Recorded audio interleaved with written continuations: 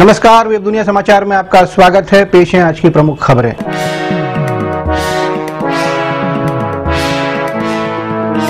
भारत लौटना चाहता है डॉन छोटा राजन।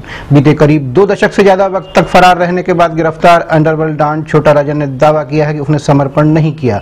वह भारत लौटना चाहता है। गैंगस्टर की गिरफ्तारी को लेकर इस बात की अटकलें तेज हैं कि उसकी गिरफ्तारी भारतीय सुरक्षा एजेंसियों के साथ समझौते का हिस्सा है। वह पिछहत्तर से ज़्यादा संगीन मामलों में वंचित है, जिसमें हत्या से लेकर उगाही, तस्करी और मादक पदार्थों की तस्करी शामिल है। सुरक्षा एजेंसियाँ राजन को लाने के लिए संभवतः इंडोनेशिया एक दल भेज सकती हैं। हालाँकि दाऊद इब्राहिम और उसके गिरोह के साथ टकराव के चलते राजन की सुरक्षा को लेकर चिंता भी जुड़ी हुई है।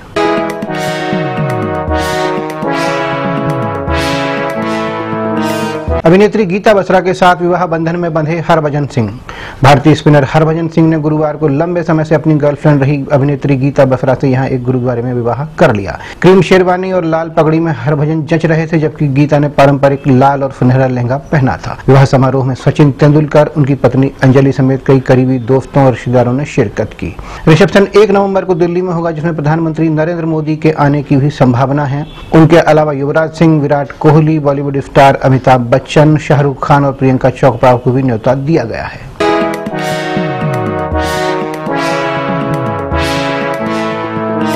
पुरस्कार लौटाना राजनीति से प्रेरित गृह मंत्री राजनाथ सिंह ने कहा। केंद्रीय गृह मंत्री राजनाथ सिंह ने देश में असहिष्णुता बढ़ने के नाम पर साहित्यकारों, वैज्ञानिकों और फिल्मकारों द्वारा सम्मान और पुरस्कार लौटाने जाने पर तीखी प्रतिक्रिया व्यक्त करते हुए इसे राजनीति से प्रेरित बताया। उन्होंने कहा कि यह मोदी सरकार को बदनाम करने की गहरी साजिश है। राजनाथ ने तल्ख लहजे में सवाल किया कि देश में किसी भी घटना के लिए प्रधानमंत्री नरेंद्र मोदी को ही क्यों निशाना बनाया जा रहा है, जबकि कानून व्यवस्था राज्य का विषय है। दूसरे सम्मान लौटाने वाले साहित्यकारों, लेखकों और फिल्मकारों के समर्थन में इतिहासकार भी गए हैं। रोमिला थाफर, इरफान हबीब डी एन झा, मृदुला मुखर्जी नीलाद्री भट्टाचार्य और के एन पणिक्कर जैसे 50 से अधिक जाने माने इतिहासकारों ने एक हस्ताक्षरित बयान में देश में बढ़ रही असहिष्णुता तथा हिंसा की घटनाओं का विरोध किया है।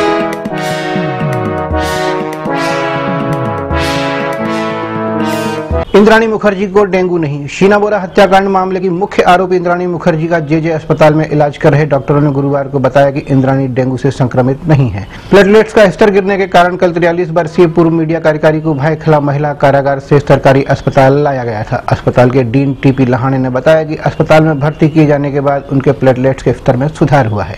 कभी कभी बुखार के कारण भी प्लेटलेट्स के स्तर में कमी आ जाती है, जो ज़रूरी नहीं है की डेंगू ही हो।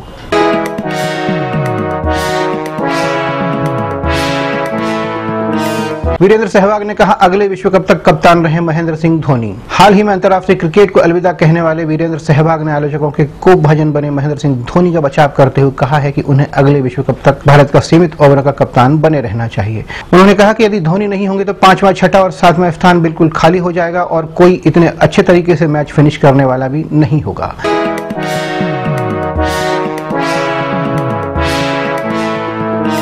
ये थे अब तक के मुख्य समाचार। और ज़्यादा जानकारी के लिए लॉगिन कीजिए हमारी वेबसाइट डब्ल्यू नमस्कार।